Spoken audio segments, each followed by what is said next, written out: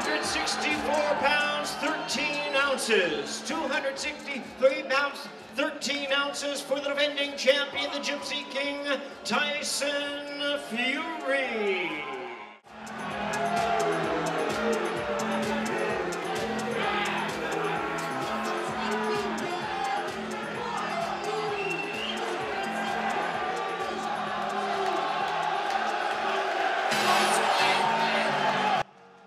There they are, ladies and gentlemen. It does not get any bigger than this. It's for the heavyweight championship of the world, WBC and lineal titles at stake.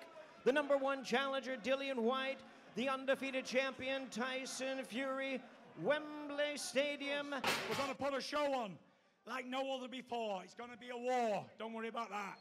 I'm so happy to be back here fighting at Wembley Stadium. And you people made it happen. You all made it happen. Every one of you's made it happen.